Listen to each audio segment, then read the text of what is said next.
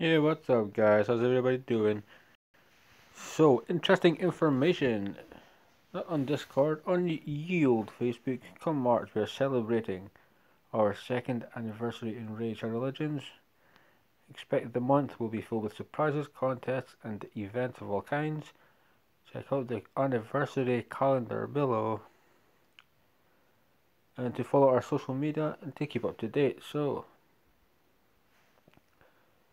for the second anniversary in-game. Events activities in-game we've got daily celebration gifts.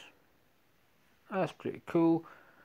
So every day let's say you get three gifts a day.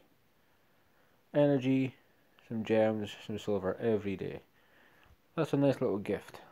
So first and foremost credit where credit is due. That is pretty cool we're going to have tournaments and events with fragments. So with that being said, anybody that never got Kreela, Elagaeus, any other fragment based champion, you know have an opportunity to collect. Or you can just kind of have fun with all the tournaments and events, which should be fun, I don't see why not. We also have in the second half of the month from the 16th to the 31st St. Patrick's Day Fragment Fusion. So this one, when I read it, I was like, well, is that going to be Shamrock or Cillian the Lucky? Or is there a brand new Patrick's Day Fragment Champion? If there is, to have two weeks to do it, I think is pretty cool. It'll also base a lot of time.